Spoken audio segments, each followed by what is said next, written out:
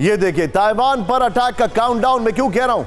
America के अंदर कर सकता है अटैक, चीन।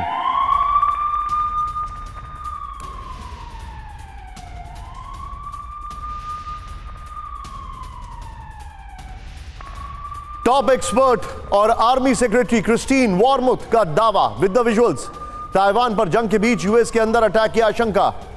यूएस पावर ग्रिड का पाइपलाइन को चीन बना सकता है निशाना। राहुल इसके की ग्राफिक्स पर आइए तुरंत और इसके शॉट्स और ब्रेकिंग के साथ आइएगा जरा। चीन करेगा अमेरिका पर अटैक ये इंफॉर्मेशन आ रही है। ताइवान पर जंग छिड़ी तो चीन अमेरिका के अंदर बड़ा अटैक करेगा ये इंफॉर्मेशन आ रही है। टॉप एक्सपर्ट और आर्मी सेक्रेटरी क्रिस्टीन मॉर्मुद का बड़ा दावा है ये। चीन अमेरिका में पावर ग्रिड या पाइपलाइन को निशाना बना सकता है। चीन अमेरिका में बड़ा साइबर अटैक भी कर सकता है।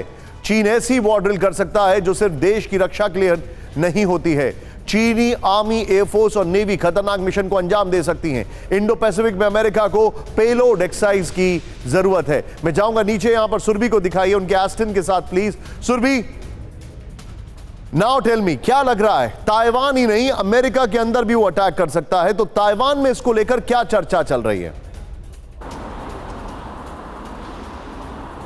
ताइवान में चर्चा उसी लिहाज से की जा रही है कि आखिर साइबर अटैक्स ये मानते हुए कि चाइना शुरू कर चुका है और वो ताइवान में रोज़ाना, दिन में एक बार रोज़ाना ऐसे साइबर अटैक्स करता है। साइबर वॉरफेयर को कंफर्म किया जा रहा है। लेकिन ये थ्रेट जिस लेवल पर अब आगे बढ़ता जा रहा है, किस तरीके से ये यूएस के होमलैंड को इंडो पैसिफिक रीजन में पहुँचते हुए उन कम्युनिकेशन सिस्टम्स को टारगेट करते हुए आगे बढ़ने की कोशिश कर रहा है, इस पर सबकी नज़र है। चर्चा इसी लिहाज से निशांत यही की जा रही है और जिस तरीके से अमेरिका में भी वॉर एग्जामिनर सिचुएशन को एनालाइज कर रहे हैं और ये कह रहे हैं कि यूएस के होमलैंड तक उसकी पहुँचने की ये कोशिश है तो बेसिकली अब साइबर वॉरफेयर के साथ साथ उन अहम सोर्सेस को टारगेट करने की कोशिश की जा रही है, जो वाकई बहुत ज़्यादा इंपॉर्टेंट है।